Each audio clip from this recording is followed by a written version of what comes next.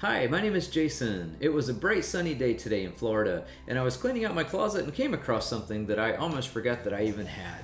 This is a parabolic mirror, and its job is to focus all beams of light that hit its surface to a focal point about two feet off the surface of the mirror. This is way more powerful than what you would get from a magnifying glass. So having this in my hands, I couldn't resist. I had to go outside and set up a little experiment of my own here. So I have set the mirror in a chair and focused it to right there. you can see how fast it ignited that stick into smoke. It's just incredible how much heat's produced there. So I have a gla little glass with about two ounces or so of water, and my goal is to see how long it takes to actually boil this glass of water using only the free energy from the sun in my mirror. I've started a timer in the upper right corner just to track our progress. And also I have a common kitchen thermometer that I'm going to use to read the temperature as we go.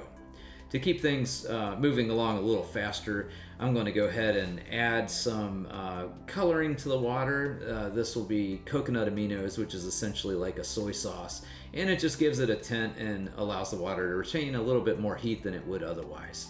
So we're off to the races. Right now we're at 94 degrees. We're about 36 seconds in. So keep your eyes on the thermometer and I'll speed things up uh, in just a minute. This is a bundle of sage, which usually it won't light on fire, but it sure will produce a lot of smoke.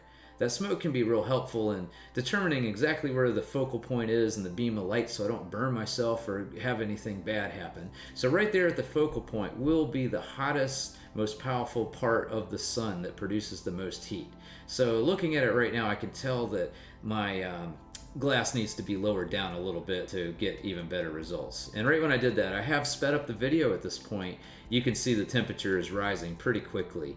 The uh, power coming out of the sunshine is tremendous, but it does take a lot of um, a lot of energy to heat water.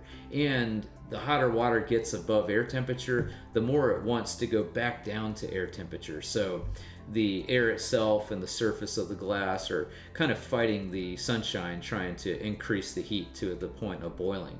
But so far, so good. We're at um, 4 minutes and 30 seconds, already at 165 degrees. That is just amazing. I keep checking the, the beam and the focal point uh, with the Sage just to make sure we're on track the the actual earth is turning and the focal point changes and moves due to the rotation. So every so often it's it, it's beneficial to actually make a small adjustment to increase uh, the amount of heat being transferred into the water. So here I'm almost at 212 which would be boiling. Now I think what's happened is the tip of the uh, thermometer is actually in the light beam. So I move it aside there and then it makes it go down to uh, just the actual real temperature of the water. So at this point it looks like we're there. I've got bubbles. I stopped the clock and it seems to be boiling. So it took 8 minutes 22 seconds to get us there with my mirror and some sunshine. So good job. Uh, that was uh, interesting and fun all the same.